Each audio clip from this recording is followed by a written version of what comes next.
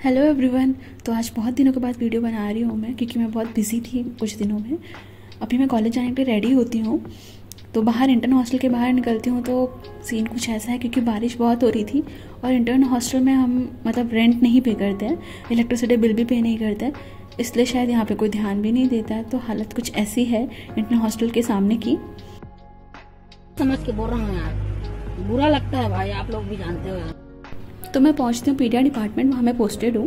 वहाँ पे patient load बहुत कम है अभी फ़िलहाल, क्योंकि आज बारिश हुई है तो पेशेंट बहुत कम आते हैं।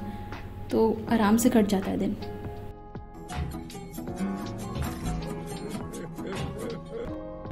हॉस्पिटल के बाहर मौसम कुछ ऐसा है जो कि बहुत अच्छा मौसम है, और हॉस्पिटल के बाहर ऐसे रोड का भी कुछ टेंशन नहीं है तो इसलिए अच्छा लगता है चलने में।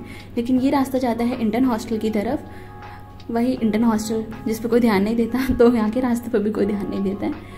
एक्चुअली उसके बाद मैं पहुँचती हूँ इंटर हॉस्टल के मेस में और फिर वहाँ पे खाना आज एक्चुअली टेस्टी बना था, पता नहीं कैसे। जबकि बारिश के टाइम पे ऐसा होता है, बहाने मार देते हैं भैया कि नहीं, आज खाना नहीं बना पाए लाइट नहीं थी, कुछ भी बहाने मार देते हैं। बट आज काफ़ी अच्छा खाना बना था। Thanks for watching